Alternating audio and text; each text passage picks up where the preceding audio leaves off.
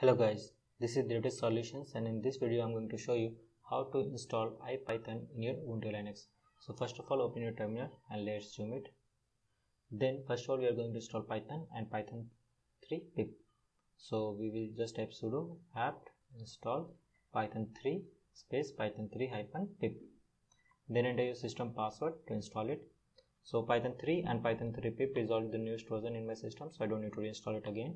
So I'll just clear my terminal and then I will type pip3 install ipython so now it will start downloading and installing the ipython so now it has done.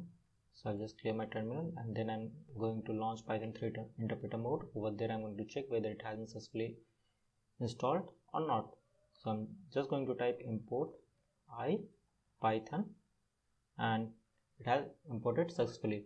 So that's all for this video. If this video helps you please do it like and subscribe to our channel. Thank you for watching